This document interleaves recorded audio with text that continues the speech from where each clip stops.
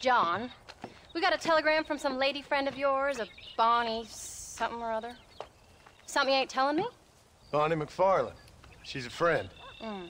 Saved my life when I went after Bill and nearly got myself killed again. Oh, now you two's in the habit of sending each other letters. How very nice. It weren't nothing like that.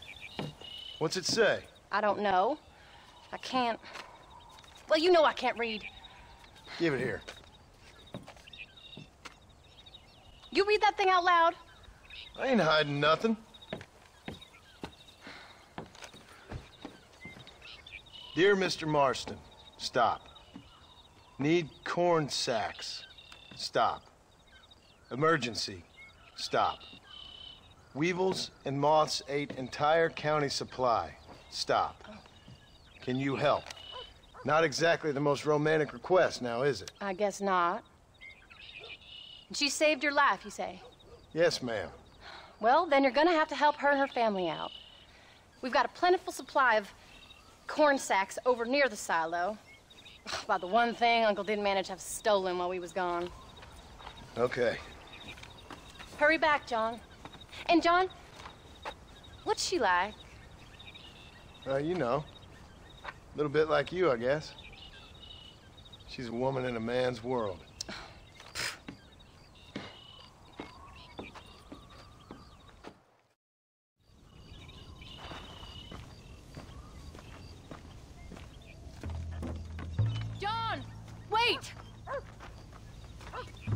Changed my mind.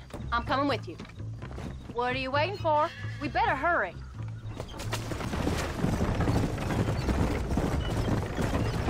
I don't think I can let you go off again without me. Fair enough. I'm glad of the company. You only had to ask. Ask?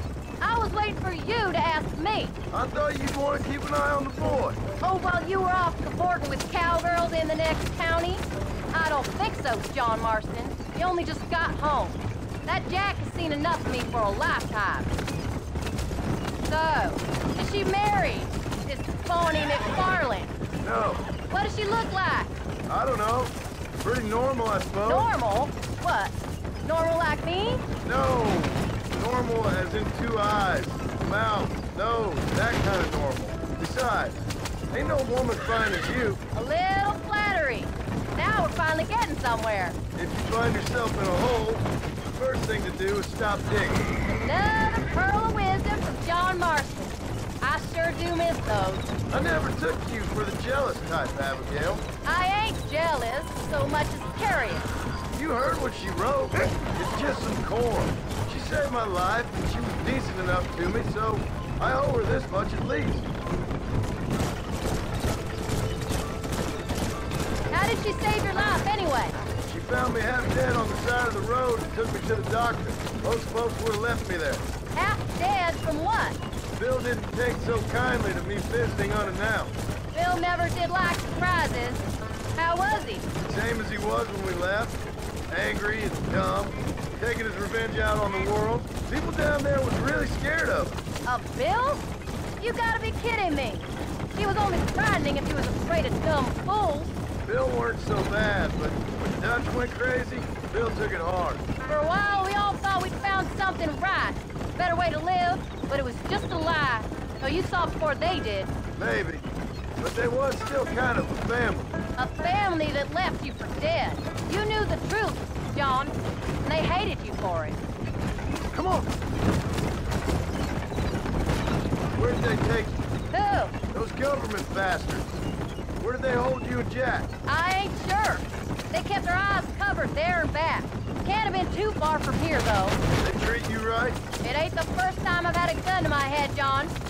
You're forgetting your marriage proposal. Very funny. No, they learned pretty quick what would happen if they laid a finger on me. Sons of bitches. It wasn't them or being there. I didn't care about that. I've been in far worse situations.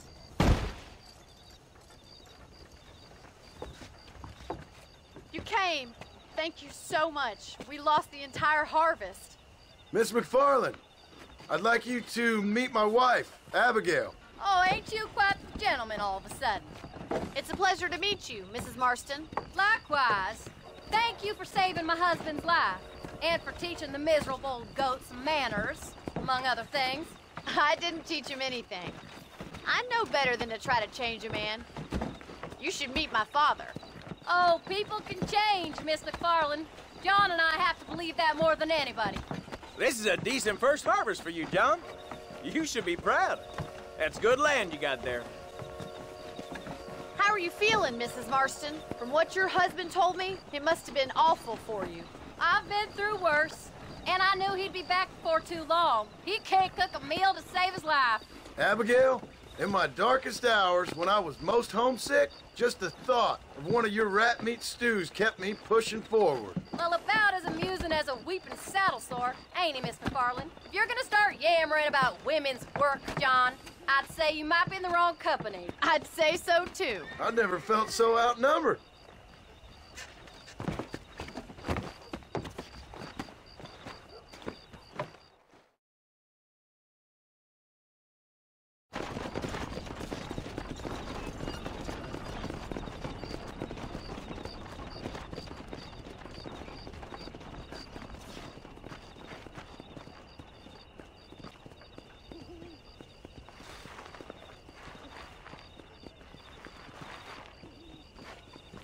Ma'am?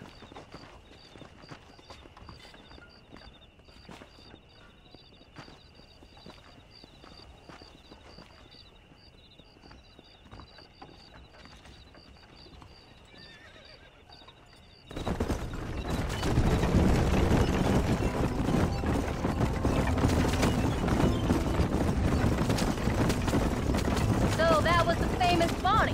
That was her, all right. She's pretty. She's normal, like I said. Well, you always wanted to be a rancher. I'd have thought she'd be just your thing. The perfect rancher's wife, if I ever saw one. I already got a rancher's wife. I'm only teasing. I like her, and I'm glad she saved your life. Most of the time, anyway. The MacFarlanes are good people. She did blush redder than a shepherd's sunset when she saw you, though. I have that effect on women. You've clearly had one too many blows to the head.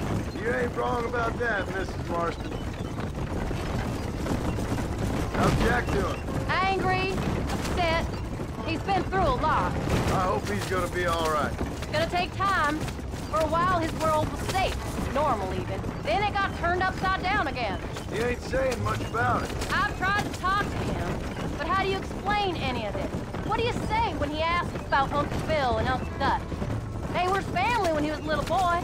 He hides away in those books of his. Wouldn't you? It ain't like the real world's done him many favors. He's just been kidnapped. He grew up with the gang. That's no life for a boy. We did our best to protect him. Come on, John. He saw things no boy should see. Well, now we got a chance to make it right.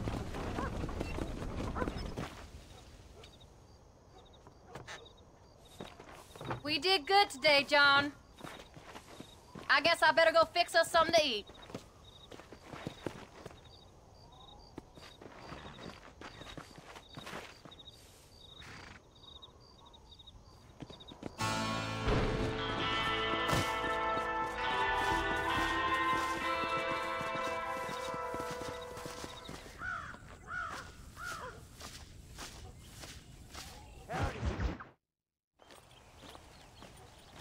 What are you looking at, old man?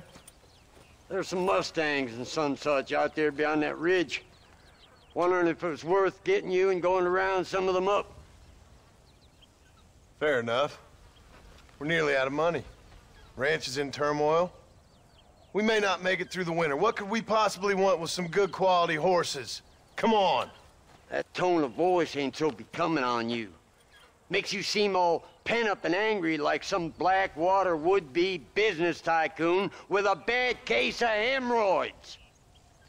I'll give you a bad case of someone just shot me in the head if you don't hurry up.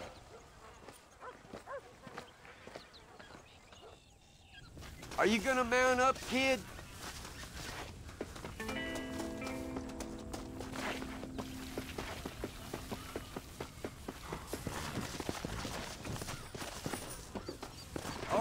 Let's get after them. Come on, giddy up.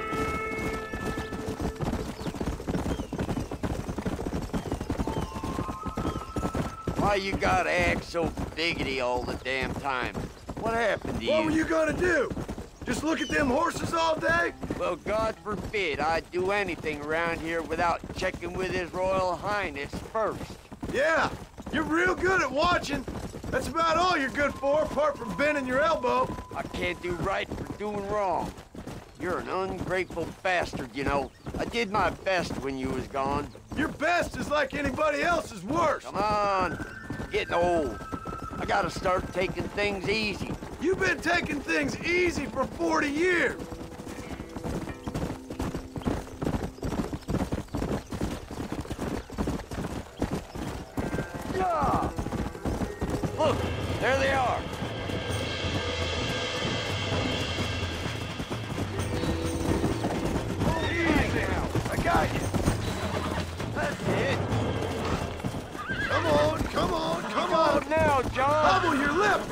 Come on, baby.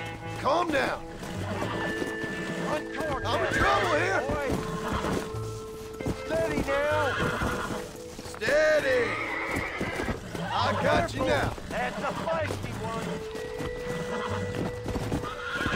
Show it who's boss. Yeah, that wasn't so That's bad. more like it.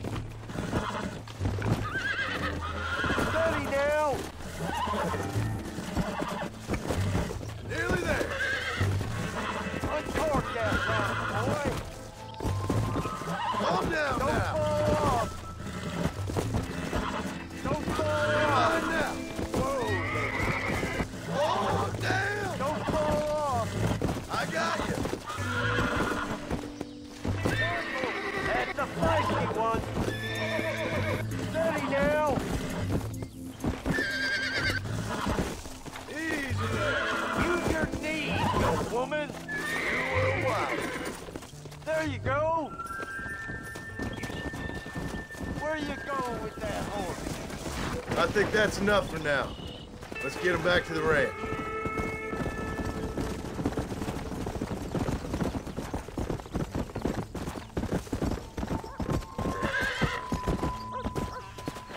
Make sure there's enough fresh hay. We need to keep them strong. All right. Damn, a little gratitude wouldn't kill you.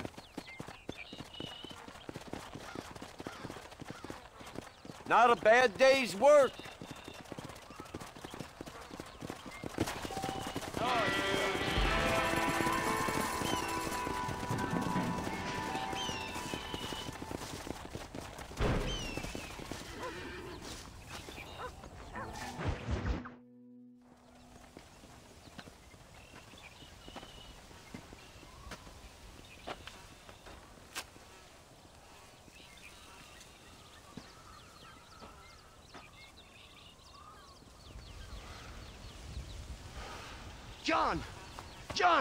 What is it, old man? It's Jack. The kid. The kid. Well, I just saw him out in the valley. Seems your tales of hunting got the better of him. He said he was going up to the pass, track down that grizzly that's been seen up there. Kid can't hunt a grizzly. Thing will eat him alive. I know. I tried to stop him. But you're worthless as a lawyer at a lynching. Damn you, old man. This is my son. Anything happens to him, you wish it was you that bear attacked.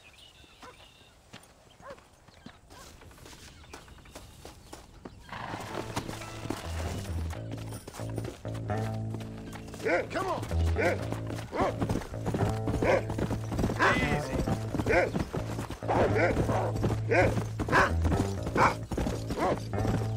Where is he, Rufus?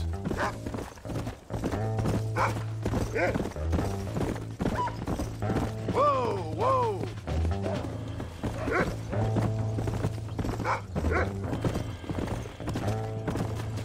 Jack, Rufus.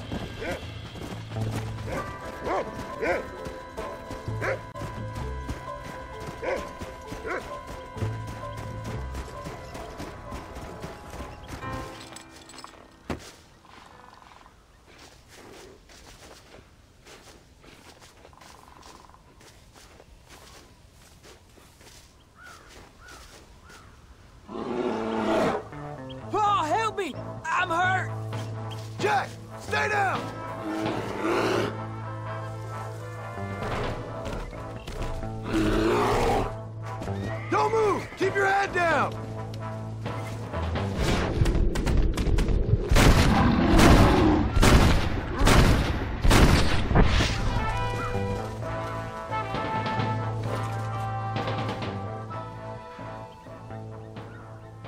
What the hell were you thinking going off on your own? You're just a boy. No, I'm not. I can skin an elk, break horses, Come on, let's get you home.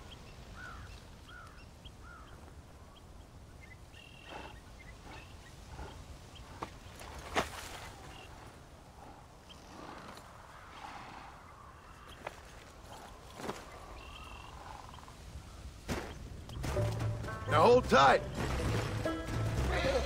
You all right? Yeah, I think so. You're lucky to be alive, you stupid boy. What'd I tell you about going off by yourself?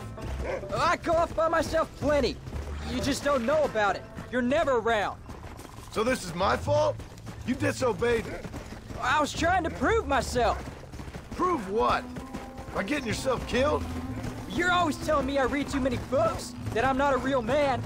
I never said that. I just thought if I could do something you'd like, maybe you wouldn't go away again. Son, I ain't going anywhere. And believe me, neither are you for a real long time. Come on. Yeah! Going after a grizzly? What were you thinking? You've only been hunting twice. I'm not a little kid anymore. What were you doing at my age? Bad things. Things nobody should do. But your ma and me, we didn't have what you have. Yeah, yeah, I know. I should be grateful. I'm not asking you to be grateful. I'm asking you to do what I say before you get yourself killed. It's always one set of rules for you and another set for everybody else. You think I don't know what you did back in the old days? I'm not stupid. I'm sorry I made you worry, Pa. Don't be too eager to grow up, son. Ain't as much fun as it looks. When you're ready to hunt bears, I'll take you.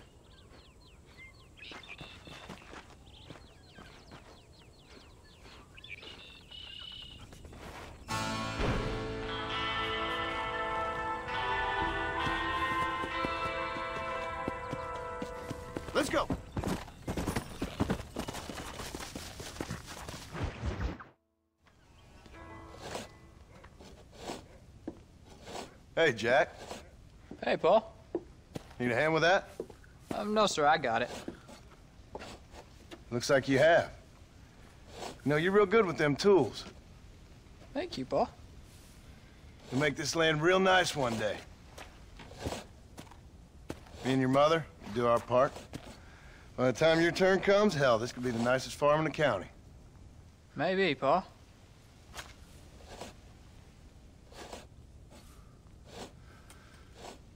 Just gotta learn to shoot straight or you'll get yourself eaten by some animal. Very funny, Pa.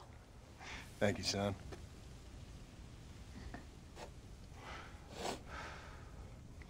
Soon it'll be quail season. We should have some fun then. Is there anything you don't like shooting, Pa? Well, I ain't met the thing yet, but as soon as I do, I'll let you know. You can even put it in one of them books you read. Yeah, maybe I'll do that. Today, John Marston stopped shooting. Now, I ain't no literary man, but I don't think that'll sell. People like shooting in them things. I think you may be right there, Pa.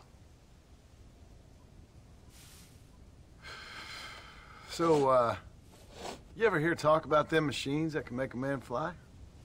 Well, sure, Pa. Everybody knows about that. You know they're going to be bringing one of those machines around the country next year for a demonstration? One of them machines can turn men into angels. One of them machines can turn men into angels. John, come here. John, come here, quick. Take a look at that. Jack, go into the house, lock all the doors. Whatever happens, don't come outside. You hear me? Whatever happens. Okay. Come here, son. Whatever happens, keep the doors locked and your mother inside. Promise me, son. Promise me. Who is it, Pa? Some friends. Me and Uncle take care of it.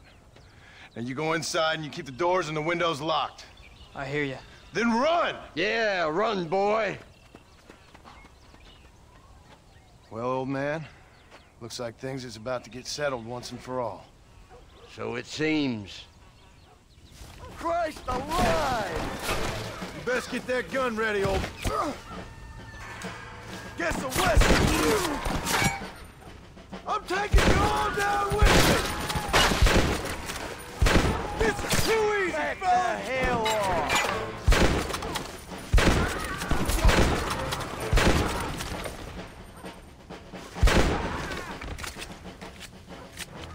Go check on your family, boy.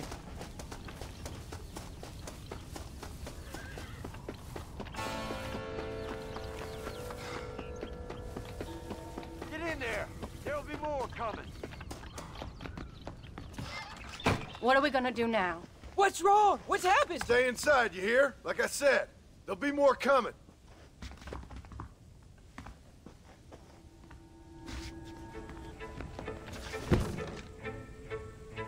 I don't know, son. Whatever it is, it ends here. No, I ain't gonna You let ain't that gonna happen. take us? What on earth?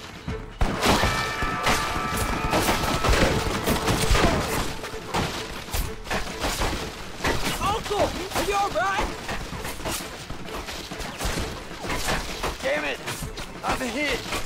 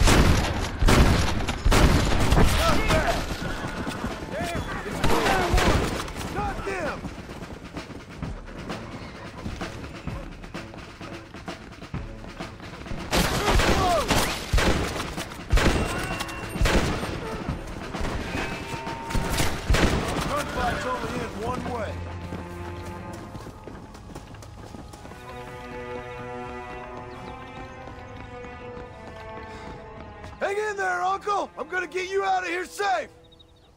Ain't time, John. I ain't gonna make it off this porch anyhow. You take Jack and Abbott. take them and. Don't worry about me. Just get them out of here. No! Uncle, please! Oh my god! They killed him! Come on, son! Ain't nothing we can do for him now!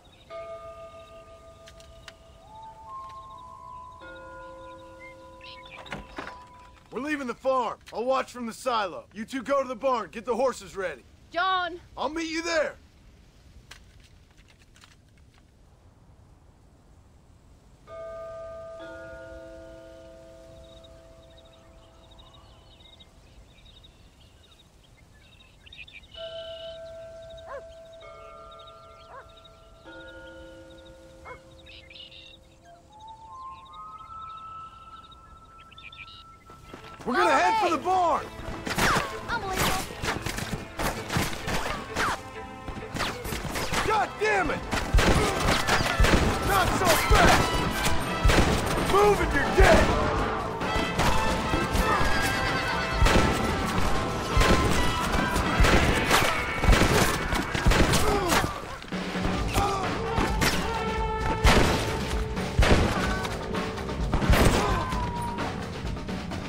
Stay down!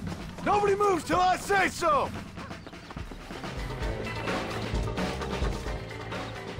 Hey, come on. Now listen. Jack, Narlin, get on this horse. Get out of here. Go find a place to hide.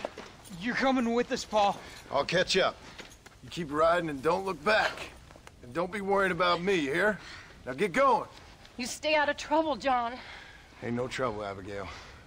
Ain't no trouble. I love you. I love you. Now go! Get!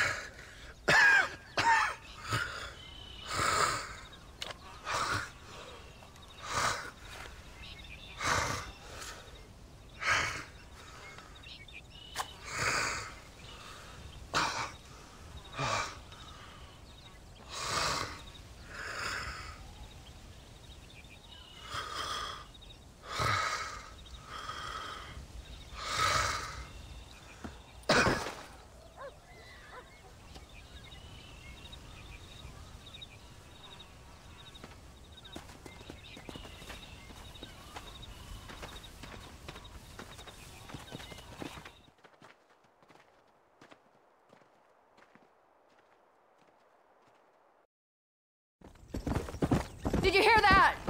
Jack, we have to go back for Pa. Let's go!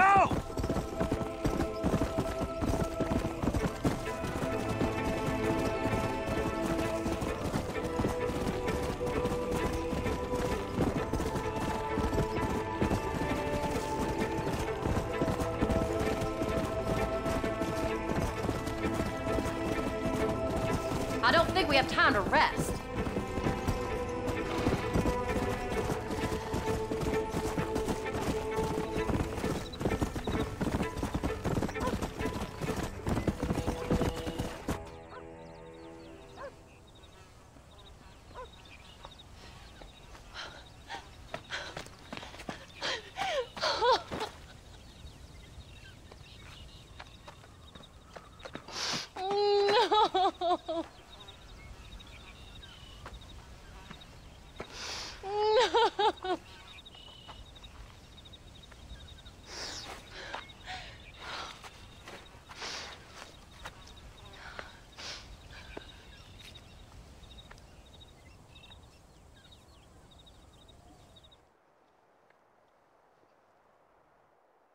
Oh, bury me not on the lone prairie where the coyotes wail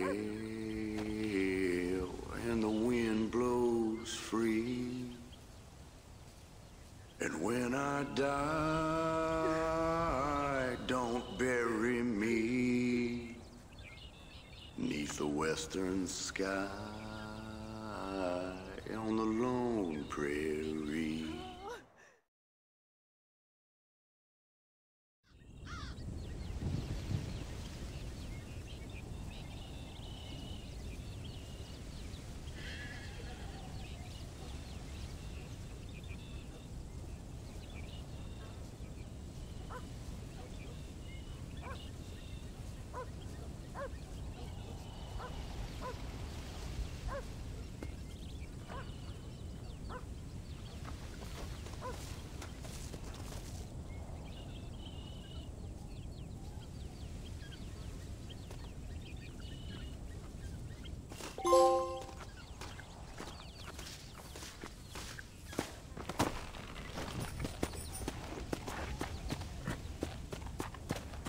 Work you damn nag!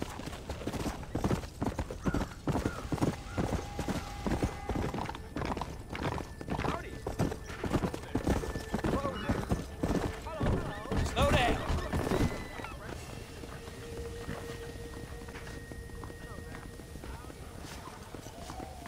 You need help? Hello, sir. You work with the government? You one of them agents? Sure, son. Why you ask?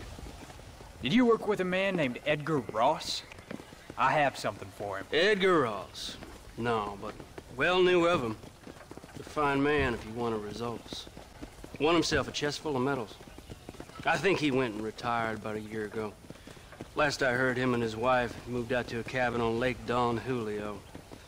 Lucky guy, getting to take it easy. Beats fighting crime in this dump, that's for sure. Well, thank you for the information, mister.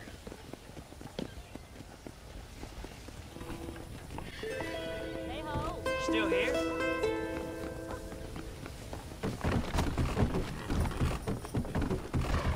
Yeah!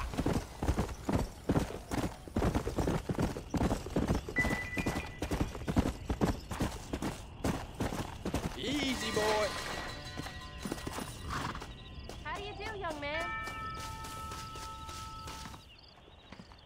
Excuse me, ma'am.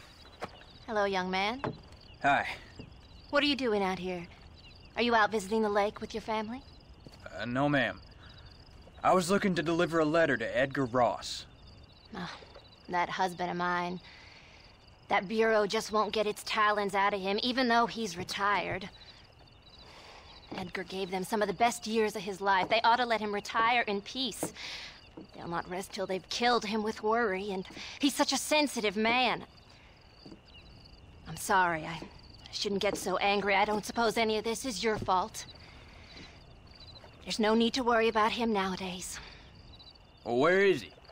He and his brother Philip went hunting on the south side of the San Luis River. Be careful crossing over. They were saying it was dangerous. I sure will, ma'am. And don't worry about a thing.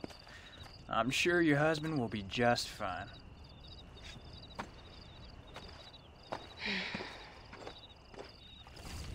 You should be able to catch it if you leave now.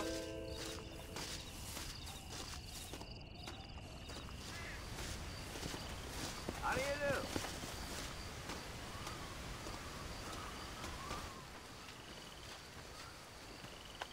Hey there, mister. How's the hunting? Oh, pretty good, son. Got me a few rabbits, coyote, elk. Still looking for some trophies for the parlor. I've got a letter here for Edgar Ross. You know him? I, I heard he was down in these parts with his wife. Of course, I know him. He's my brother. Gone down river, duck hunt. Must be a pretty important letter to have come all this way. Oh, yes, sir. Real important. I'll be on my way home as soon as I deliver this message. You best be off then. Just don't get on his bad side. He's got a filthy temper.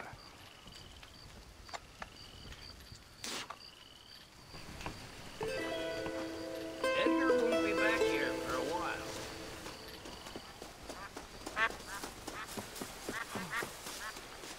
Excuse me. You Edgar Ross? Do I know you? Forgive me for startling you, sir. I have a message for you. My name is Jack Marston. You knew my father. I see. I remember your father. I've come for you, Ross. And you, boy, have sure shit found me. You killed my father. Your father killed himself with the life he lived. You killed him. I saw you. You keep saying that. You sent him to do your dirty work. Then you shot him like a dog. And I'll shoot you like one too, you little piece of trash. Now get out of here before I kill you as well. I ain't going nowhere, old man.